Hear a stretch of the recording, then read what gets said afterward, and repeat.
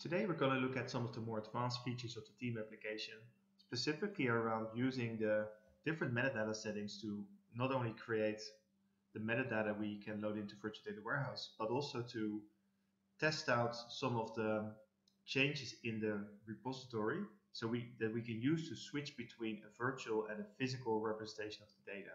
In other words, we can use this setup to simulate what the target data warehouse will look like based on our design, design metadata. But we can also load that into a physical structure to act effectively as an ETL process and toggle between the two.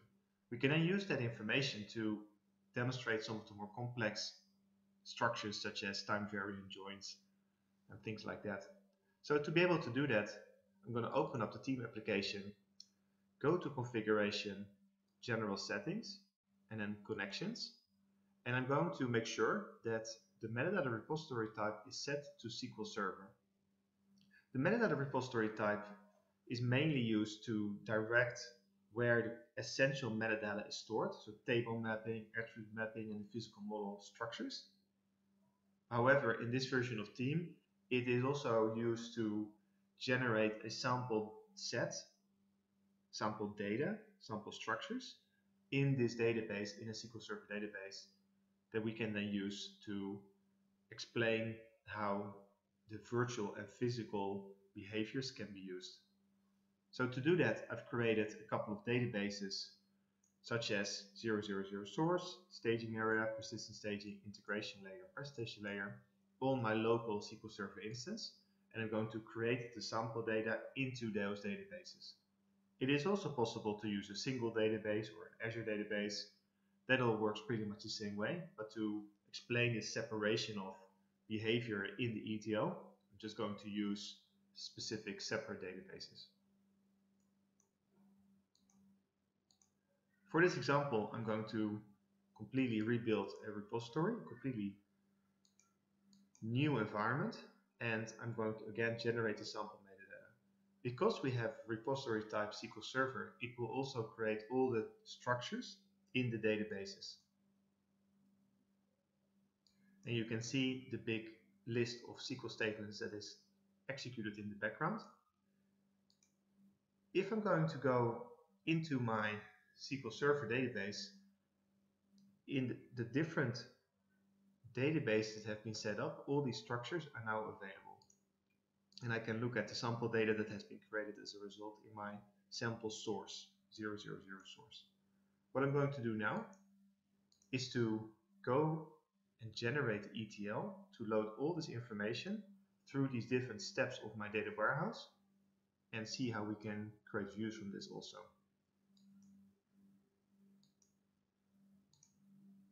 To do that, I'm going to go back to the Manage Metadata screen.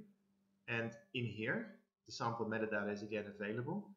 And I can choose between virtual and physical metadata activation options. The difference between those is that the virtual mode will look at the existing physical model snapshot as it exists in the metadata, or more precisely in a version of the metadata. If we activate against a physical model, we can just map the existing design metadata against what is available structure-wise in the target database. For this example, I could use either, but I'm going to use the physical model to directly establish a database connection and complete the mapping from there.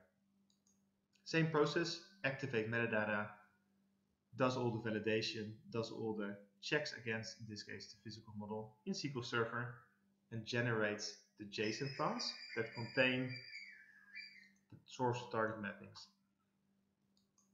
It is also possible, if I check this display JSON output, to either generate the JSON files specifically, or I can also right click on a specific row and achieve the same result for a specific mapping. So all this information is then made available in the output directory. And as you can see, it contains a whole number of JSON files that have been just generated by the application.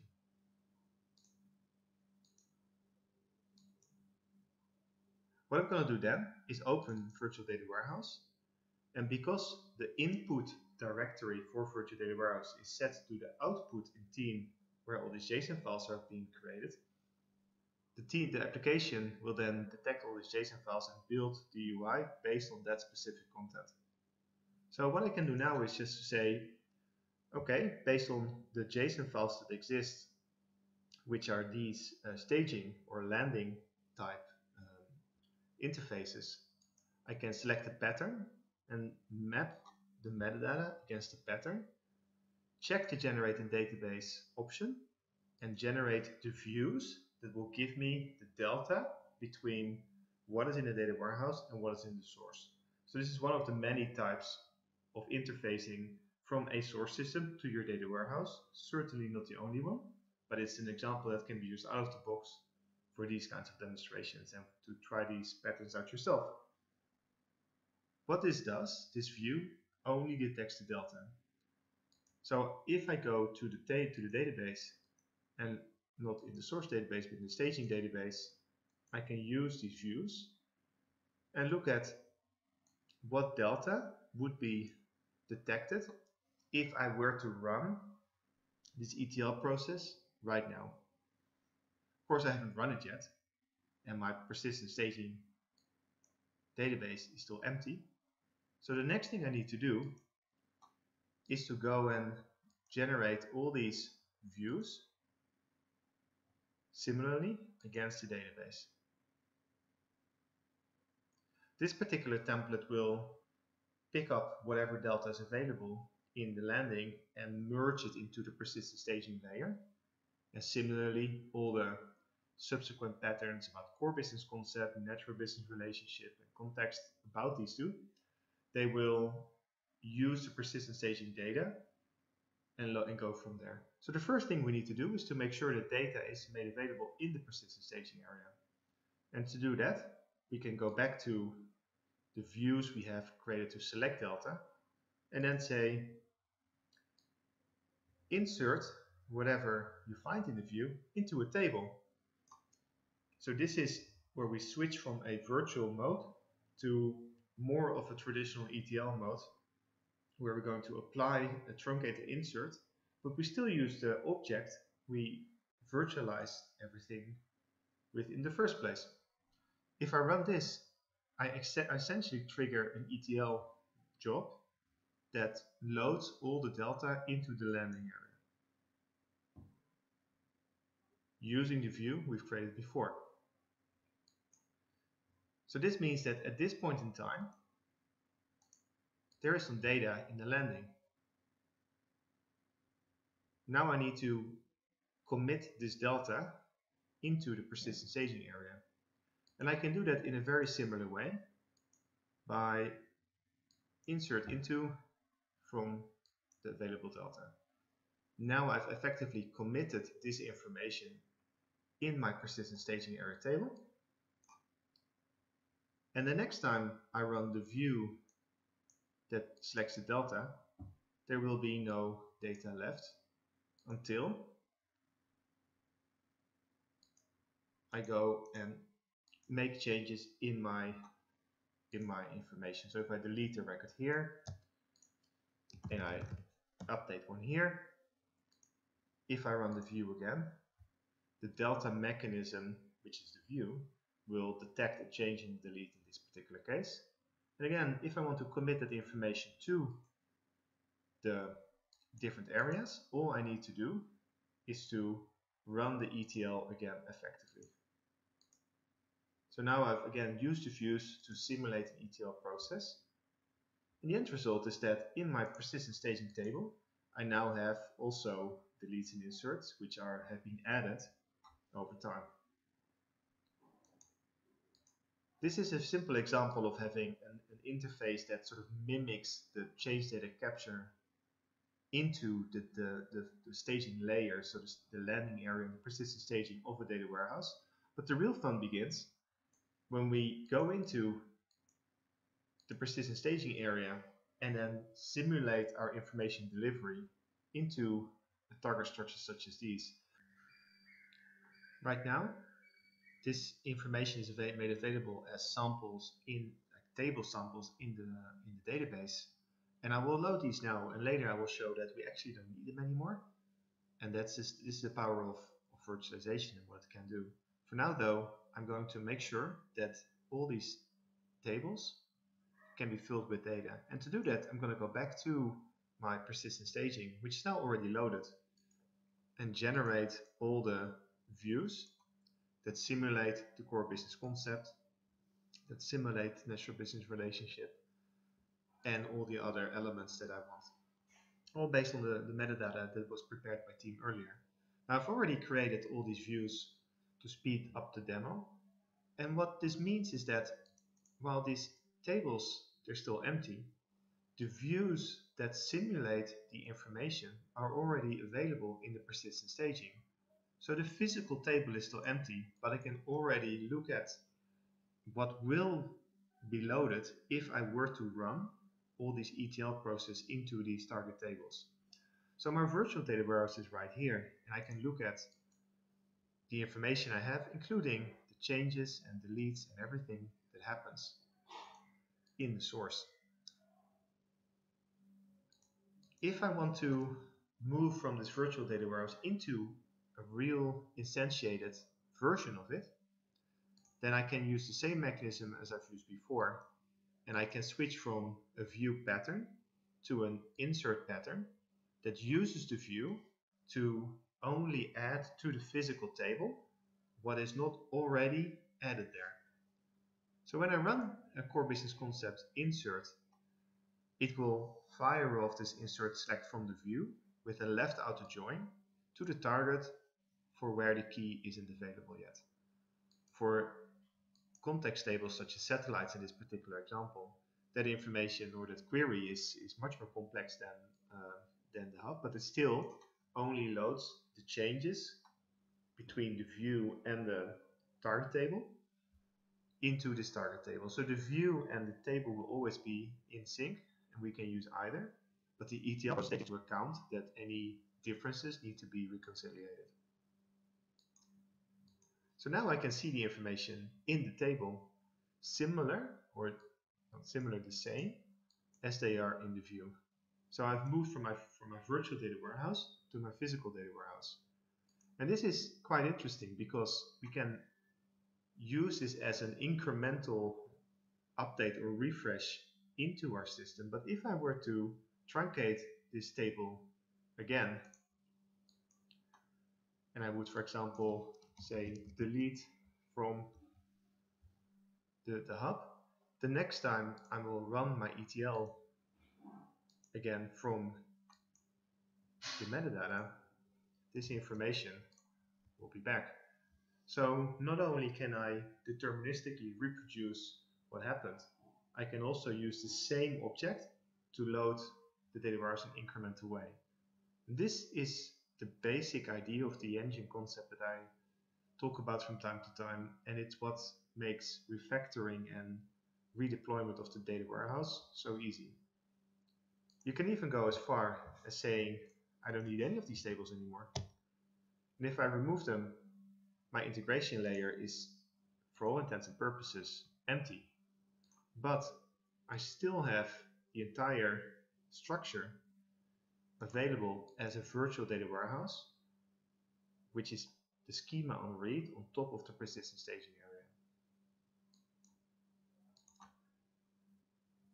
If we continue with that idea that we still have a virtual representation of this data warehouse, one of the interesting functions we can look into is how this works when we look at the information in a more time variant setting.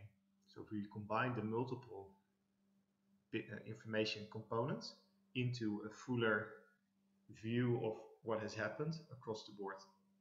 A point in time table, a dimension, so delivery components such as that.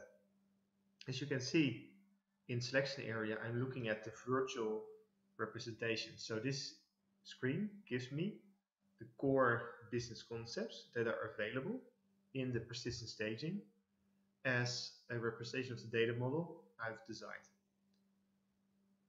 So if I select, for example, the hub customer, then it shows the corresponding tables that are directly related to this. And I'm going to use this as an example where I want to select only a couple of elements from a couple of tables.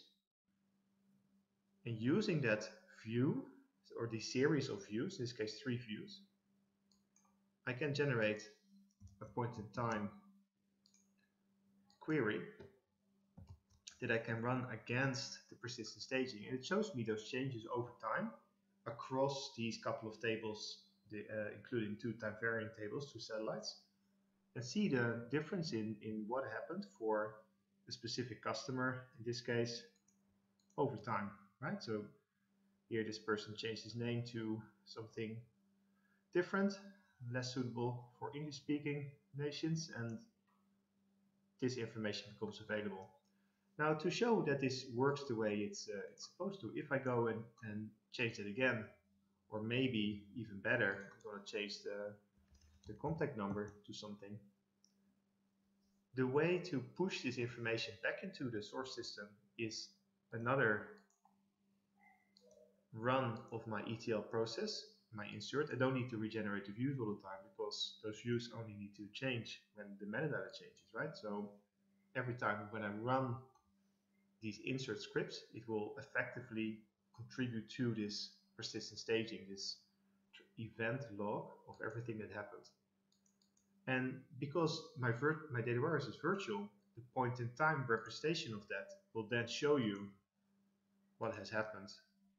In this case, a new change has been created. So first, I know nothing, the name, change of name, change of, in this case, contact number. So this is an example of how that all rolled together in a time varied view. But we can go further than that because ultimately we can make this as simple or complicated as we want to. So if I only am interested in a couple of elements which are specific to the customer in this case, I can create a view that only shows me some of the descriptive information about that, that customer. It looks a bit like a dimension. If I go back and unselect all those elements and are only interested in the timelines between those couple of tables, it gives me a, oops, it gives me a different example which looks a bit more like a point-in-time table that I can use at different stages of the delivery to join context against. So the pattern for this is the same, but how we use it makes it look more like a dimension or more like a pit table. But it's a very fluid concept and it's very easy to refactor this into different use cases depending on the need. For me, the next work to do is to make sure that these patterns that are underpinning these point-in-time tables can be configured using the handlebars mechanisms that we use to drive the other templates and to make sure that we have the different flavors of managing perspectives of time and handling backdated adjustments or late arriving information, applying different levels of condensing or log compacting in these patterns, and make it available in the same way we can use the base data warehouse structures. But that's for another session. So thanks for having a look. If you run into any problems, let me know. I'm happy to help. And I hope you enjoyed this explanation. The team and Virtual Data Warehouse. Thank you.